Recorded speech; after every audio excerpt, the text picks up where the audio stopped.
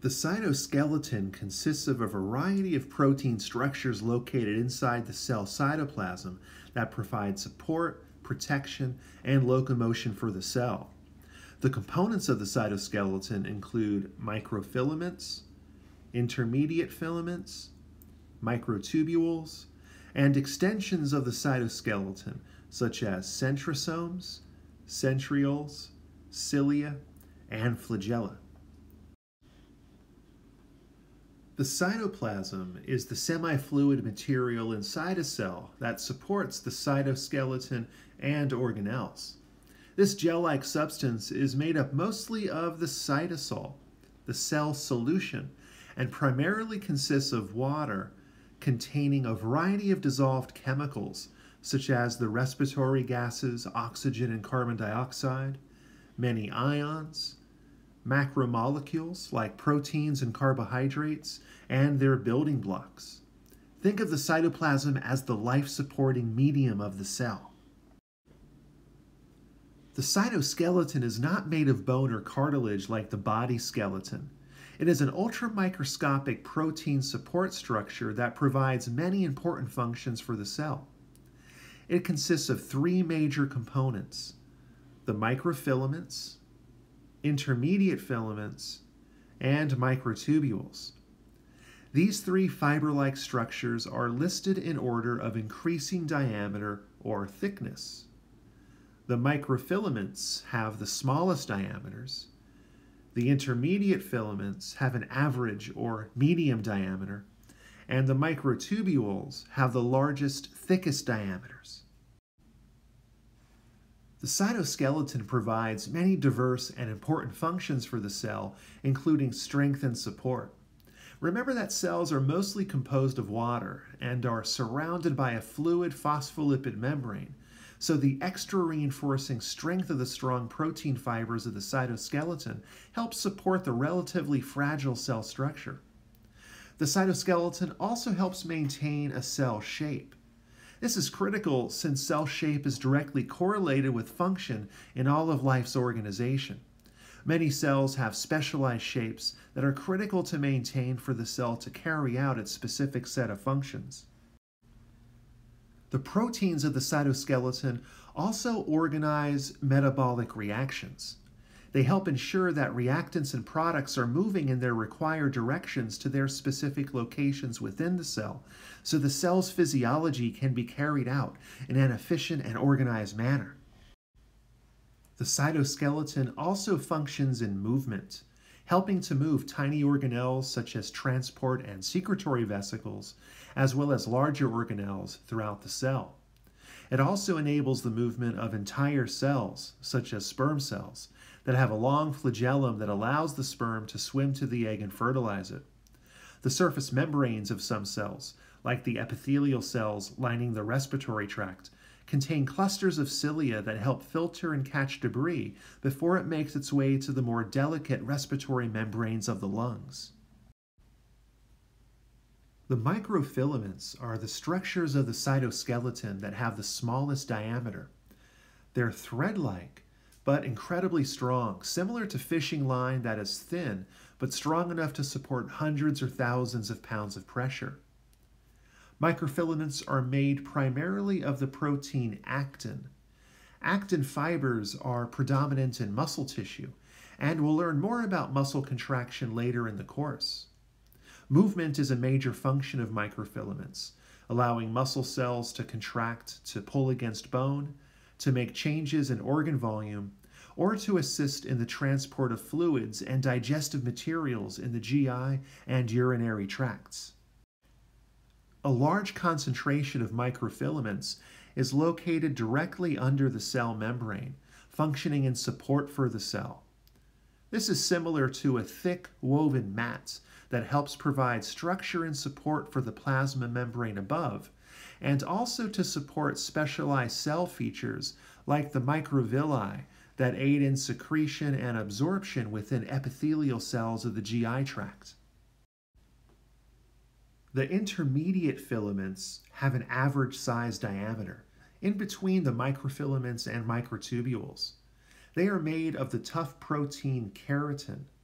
the same protein found in hair, fingernails, and toenails.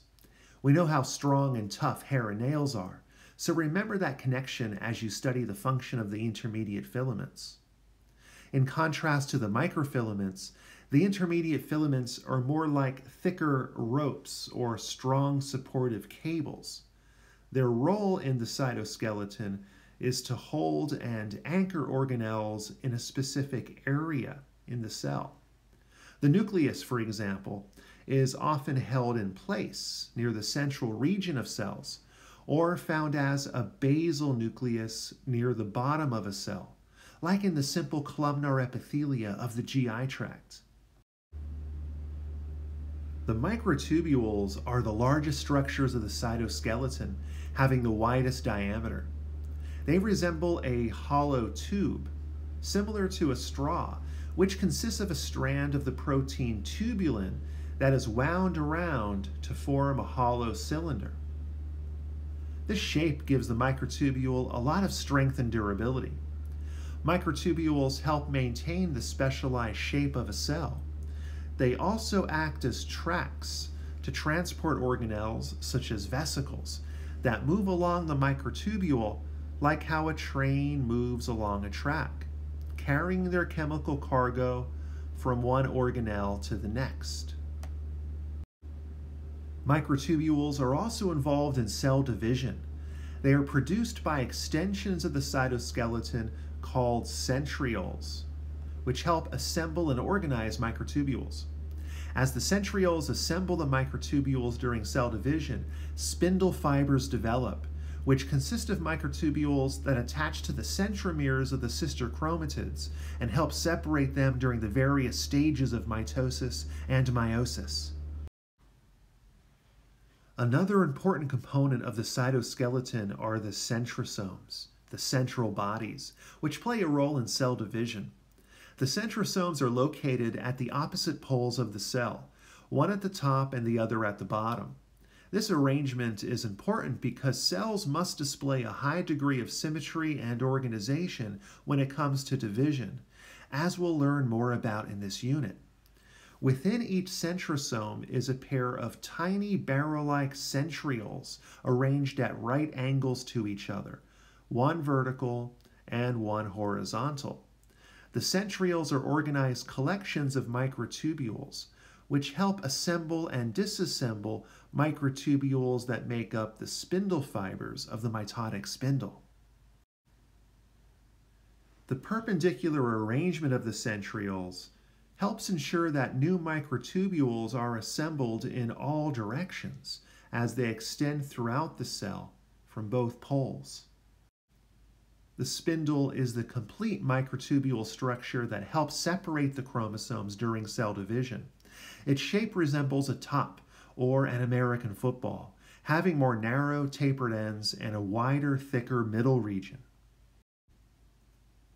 The centrioles consist of triplets of microtubules, with nine triplets arranged in a cylinder, with none in the center, called the 9 plus 0 pattern as seen in this cross section. All of the microtubules in the centrioles are linked together by proteins, so they form a strong, condensed structure that can help grow and assemble the microtubules into the spindle fibers. Cilia are abundant, short, whisker or hair-like structures usually found densely concentrated on the surfaces of cells. They're not true hairs, having a completely different structure made of microtubules, and they're also surrounded by the cell membrane. For example, epithelial cells located along the trachea are covered with cilia that act as a physical filter, helping to remove debris such as pollen, dust, and particulates, along with secreted mucus from goblet cells. The cell cilia can help bundle the debris and sweep it out of the respiratory tract to prevent damage. The cilia move in a rhythmic fashion, similar to the motion of oars rowing a boat or the wind moving grasses in a field. This movement is a gentler motion consisting of a forward stroke called the power stroke, and a backward stroke called the return or recovery stroke. This movement is helpful in transporting substances in a specific direction across the cell surface. In contrast to the cilia, the flagella are longer extensions of a cell. Certain animal cells usually have just one flagellum, whereas in protozoa, flagella can be more abundant. Their main function is to transport the entire cell. In animals, sperm cells have one flagellum at the base of the cell, which acts as a propeller, a long whip like tail that thrashes around to allow the sperm to swim towards the egg. The flagellum also moves in a more erratic, whip like fashion, thrashing around, causing the sperm to move in a very specific direction towards its destination. It's like a propeller on a boat's motor, allowing it to move forward continuously in a specific direction. One last note about the ultrastructure of the microtubules found within the structure of both cilia and flagella. These microtubules are mounted to the cell through a short basal body which consists of nine triplets of microtubules similar to the structure of the centrioles. But as the cilia or flagella extends away from the basal body, their structure changes. They now consist of nine doublets of microtubules arranged in a ring, with a single pair of microtubules found in the center of the structure. This is referred to as the 9 plus 2 pattern of microtubules.